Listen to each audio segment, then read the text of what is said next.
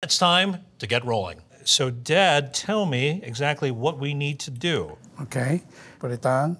It's really the bottom half of the wrapper, right? Okay, use your hand. Make it like a cylinder Okay. shape. So it's about four inches or so. So you've also got a cup of water here, mm-hmm. and this is to seal the edges, right? Yes, make sure.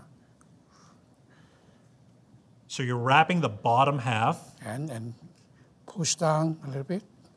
Okay, now you're folding in the sides. Yes, you push up. Okay.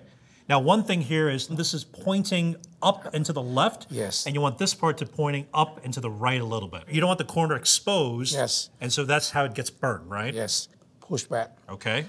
to let the air out. You're compressing it and letting all the excess air out of the filling. Yes, and make sure this corner will completely stick. You want um, it completely sealed. Yes. Okay. That is a beautiful egg roll.